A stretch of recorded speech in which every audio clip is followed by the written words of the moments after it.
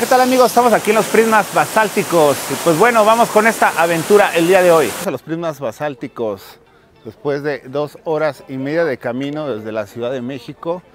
Y pues estamos conociendo. El lugar está bastante amplio. El acceso es por persona, cobran 100 pesos. Y eh, incluye estacionamiento, incluye el puente colgadizo. Hay albercas, áreas verdes, hay zona de acampar. Y pues bueno, vamos a descubrir qué cosas tiene este lugar espectacular y por qué lo nombraron el pueblo mágico número uno, el pueblo mágico número uno en todo México. Vamos a descubrir.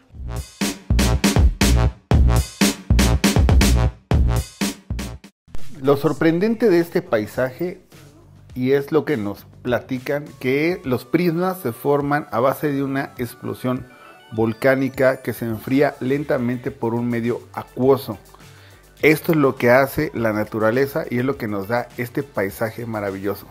Y pues bueno, si te gusta la adrenalina, aquí puedes aventarte en rapel. Totalmente, está enorme, está padrísimo.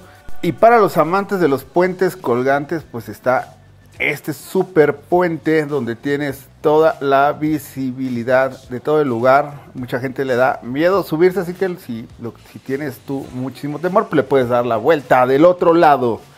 Y pues vea nada más qué altura y qué preciosidad, qué majestuoso lugar nos encontramos.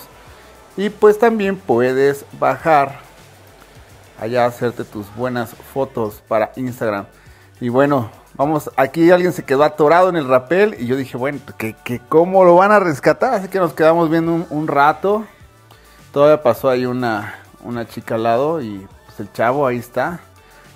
Y descubrimos que prácticamente pues aquí va un chico jalándose mano a mano, mano a mano, hasta llegar al chico que está atorado y así poderlo enganchar y jalarlo. Así que si te preguntabas qué pasa si te quedas allá a la mitad, pues bueno, pues van por ti, no pasa nada, estás bien amarrado, bien asegurado. El lugar pues cuenta con todo, todo en regla y pues te puedes subir sin ningún temor alguno a hacer tu rappel y a disfrutar de este maravilloso paisaje.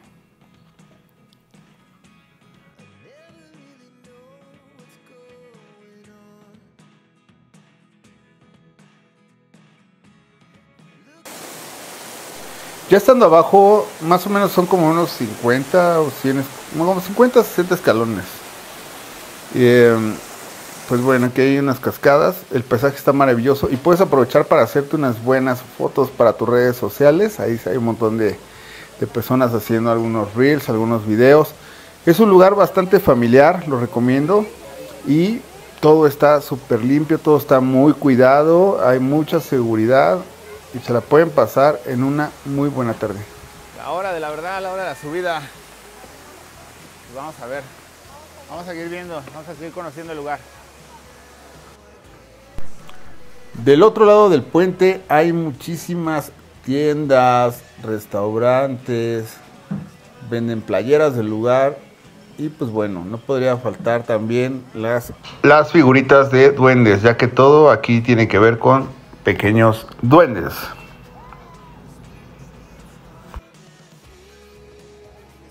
Ya en la parte de arriba hay varios lugares de comida y lugares que venden cosas regionales, artesanías, dulces, helados.